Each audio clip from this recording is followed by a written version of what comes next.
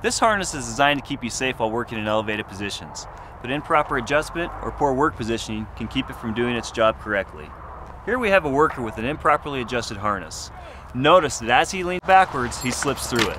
This could cause him to hang upside down by his legs, or worse yet, fall out of the harness completely. There are some precautions you can take to prevent this. Always make sure the harness is adjusted to fit you and not your coworker.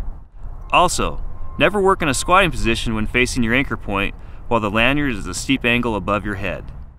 Instead, position yourself so that you're facing away from your anchor point and never let the D-ring on the back of your harness travel higher than the center of your shoulder blades. Working in elevated positions is only as safe as your equipment. Always inspect, adjust, and position your harness properly for the highest level of safety.